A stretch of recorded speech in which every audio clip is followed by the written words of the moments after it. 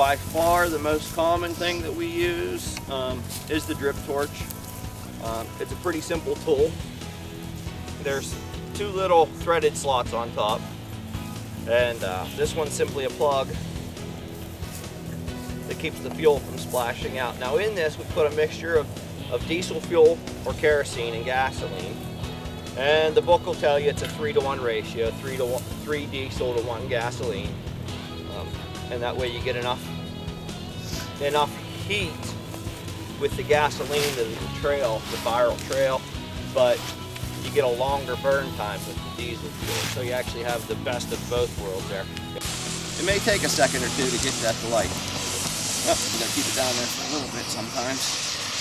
Okay.